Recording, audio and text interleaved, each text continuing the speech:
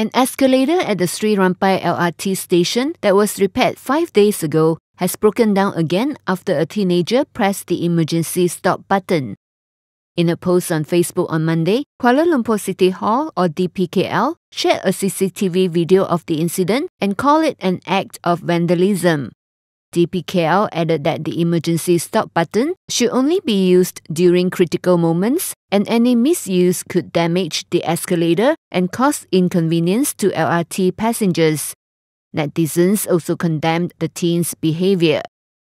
It was previously reported that the escalator had been problematic since 2016. DBKL appointed Bossque Skyline Sdn Bhd as the contractor to carry out replacement and maintenance work and the escalator was operational as of June 15.